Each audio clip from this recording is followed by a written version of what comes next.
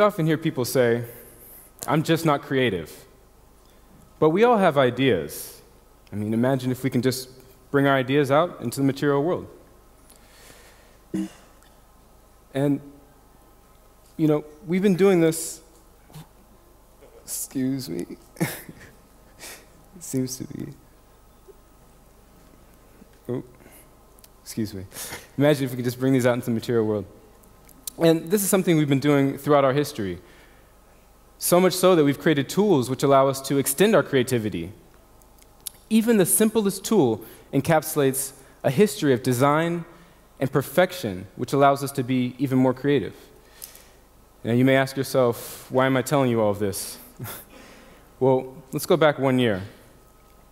We're in our design studio at the Royal College of Art in London after a long summer of working abroad in Tokyo, Taipei, Berlin, and New York.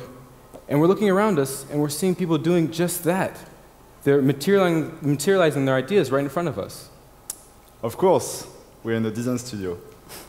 Um, but what intrigues us is how people are creating and what are the tools they use, and how the tools influence what they create. And then we start to look at outside the studio what about other people? How do we create in general? And that's when we have our light bulb moment. Everybody is creative, but the modern tools for creation are becoming so complex and disconnected from the way we think that we end up not taking that much ideas into reality. And that's when we start to believe that we are not creative. So we come up with a plan.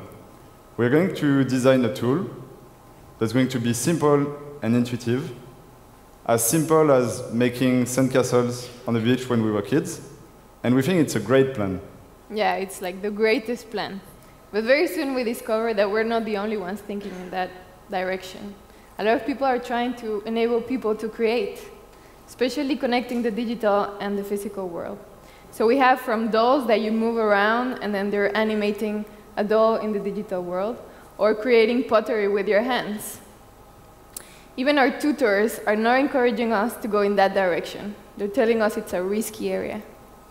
So we're suddenly in front of this big, big mountain and no idea how to cross it. But still, we have one belief that there's something to be done. So we decide to take the journey. Have you heard about Howard Gardner and his theory of multiple intelligences?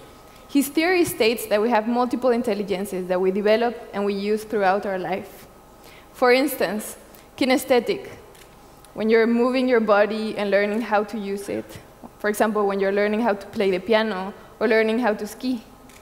Mathematical, when you're using logic to solve different problems. Or linguistic, when you formulate your thoughts and communicate them through words. Or spatial, we call it the mind's eye. So it's this time when you have these images in your head and you're understanding them, rotating them, and seeing them here in your head. Spatial intelligence. So if I imagine these two cubes, I can see them in my mind. I have a good idea of their shape, how they relate to each other, how they are positioned in space. And all this is sort of instant in my mind. If I want to communicate this with you without you being in my mind, which I hope you're not, I have to go through all this description, which, which you're going to read, translate in your own visual language into your spatial intelligence. And now that's very interesting, because creation is believed to rely mainly on spatial intelligence.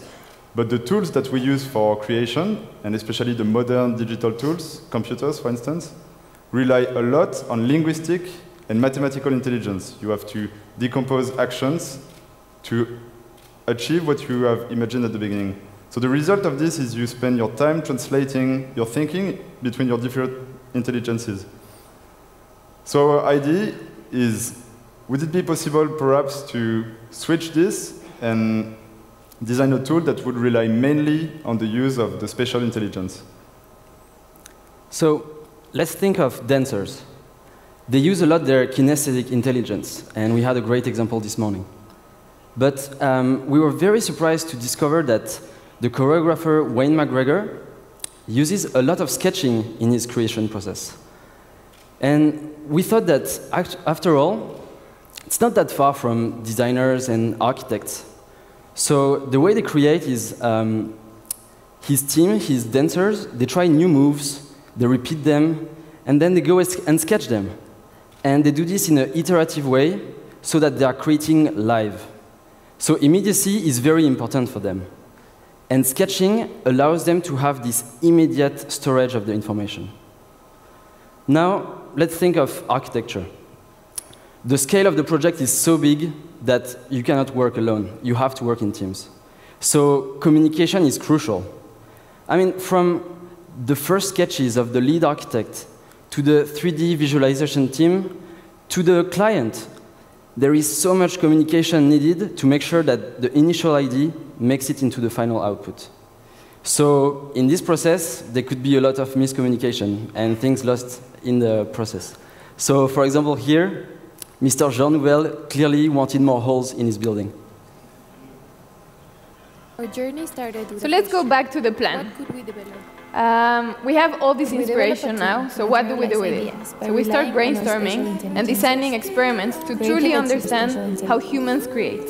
We develop a set of So experiments we to developed this set of, uh, research of, uh, tools, that the of people like to experiments learn the that limitations will of a start tool and work um, around them. to help us Very quickly, this. we realized So- that the world we live in is and give us the key ingredients for tool. Logic and insights came So from this first, process, we come up with one uh, main element, limited. the simple A set of rules. with a simple set So of if you have a simple set of help the rules, user deliver ideas faster and for example, when you have Lego, and it's uh, you understand that you have to connect the little which pieces, was right? totally Once you master that, that it's very simple, you can create like from castles to like entire cities, even people.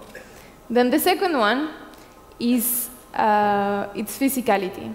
So right now, the digital tools are losing physicality, but still, when we're creating, we need to be physical. That's our human nature. Throughout our experiments, we discovered that this is very important. And the third one is immediacy.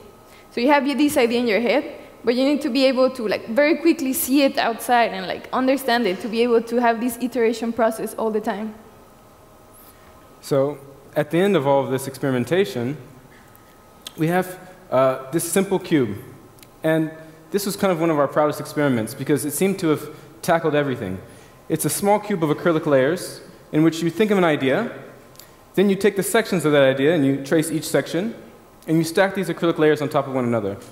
So it's simple, it's immediate, and it's physical. You're holding your object in your hand. Not to mention you can share with others. Other people can see this uh, object.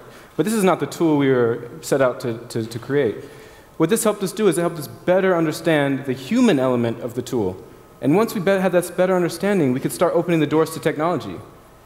And, and this is where we really got crazy. I mean, we started thinking of anything from holographic displays to augmented reality solutions to six axis arms, which allow you to sketch freely in space, anywhere you want. So we really get crazy, but to be honest, we're not computer scientists, we're not electronic engineers or robotic specialists. So most of this and most of what we know about this is what we've seen on YouTube videos, and we watch a lot of YouTube videos. but it's not that bad. At the same time, we grew up with these guys, and you would probably have done all of this with a few chewing gums and a matchbox. So it gives some confidence. And we have the chance to live at an exciting time where a lot of bricks are around us, the bricks for creation, and we can just use them, assemble them, and start to build with them. So for the next three weeks, we learn how to code, we connect some wires, we spend some time in the workshop, and we befriend a company specialized in augmented reality, and when we feel we are ready, we travel to their office in Paris and test our new prototype. Gravity is born. So what is Gravity? It's a tool that allows you to sketch in 3D using augmented reality. We created a hardware-software solution, and it's composed of a tablet, a pen, and a visualization uh, tools such as augmented reality uh, glasses or virtual reality masks. So let's have a look at how it works. So you're sketching as if you were sketching on a pad of paper, and the controls on the tablet allow you to choose on which, on which plane you're sketching, so that you can quickly materialize what's in front of you and uh, as easily as sketching different, in different planes. So um, what's great is that you don't have to rely on CAD or perspective drawing. And so uh, we built this prototype so that it would work with augmented reality. But we also like try to uh, like look at a lot of different possibilities. So we also tried with uh, uh, virtual reality, the Oculus Rift, and um, so I think it's time for, for a demo. So Shay, are you ready for live demo? Yeah, let's see if we can uh, make a chair here. So as Pierre said, you draw on a 2D surface, so I'm going to draw the beginnings of my chair here, just the profile. And this is all 2D as you would on a piece of paper. But what I have here now is the ability to then change the plane in which I'm sketching. So I can move this chair up, can move it around and just get the next profile of the chair started. It's a bit hard to draw a chair in front of so many people. And then I'm able to rotate the plane once again. And I think I'm going to make an outdoor chair. So with outdoor chair, you have a lot of these, um, these slats in the chair. So change the slats. And I'll rotate once more to do the backside. You can see this, maybe not the best uh, chair here. Maybe we change the color. Yeah. We can do something like yellow across the back here. So with a few strokes, oof, it's not the most beautiful chair, but with, as you can see, with a few strokes, I'm able to kind of drop what I have in my mind into uh, a 3D object. Now, this gives me a good, si a good sense of the, the, the, shape and the volume in which I was trying to achieve and which I was thinking of. And I can quickly iterate on this process. So I can, I can quickly delete and, and start again. And so it's just a, a great way to create a, a, few bits of 3D content. All right, so uh, as we can, we can see, you can quickly create something, but what do you do with it? So um, the great thing is that you can export any content that you create as a 3D file, and you could just, I don't know, like uh, 3D print it if you want a, a physical object. Or maybe you want to load an existing 3D content in Gravity so that you can make some annotations. You could use it to quickly communicate an ID in 3D, even if you're not like a, like a designer or an, an architect. But also, you could just have fun, just like create some crazy worlds and quickly like put them in, in, in 3D environment. So um, this animation, everything has been created in Gravity. And I don't know, it took us uh, five minutes. So this is really uh, like as easy as sketching on paper. So um, what's really interesting is that by using augmented reality, we, have, we are removing the screens from the early stage of creation. And that's very important because as architects and designers uh, are used to, when you're creating, you're just in a studio with people just in sitting in front of their computer. So uh, right now, you can focus on what you're creating rather than uh, having to think of what functionality you're going to use in the software to show that to your colleague. And you're creating in your real environment. So you're looking at it as if it was a real object. But the object that you create exists in the digital world. So it means that the possibilities are endless. So as you see, we are really passionate about this project. Um, what's very interesting to us um, is if most of the tools that are out there for creation are really about like bridging this uh, ideation and materialization, we believe that somehow gravity makes this gap a bit smaller. Actually, we no really longer have to translate our thinking between the different intelligences, as we described before. Um, we try to really design a tool that's uh, relying mainly on your spatial intelligence, so you can just stay in this sort of state of mind and create like this. Yeah, so our aim was that since the beginning. But then after testing gravity with so many people, we discovered something else, that people are connecting again to their kinesthetic intelligence. So they're, they're, isn't it what the craft is all about? So we're bringing a bit of craft into the digital tools. No, no two drawings are the same. So it's, it's very interesting to see how people start to, to use their body to start uh, communicating their ideas. So if we go again and see Shay, uh, are you up for another drawing?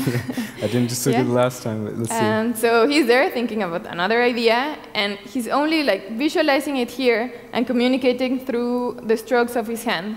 He no longer has to pass through different other like complicated uh, systems.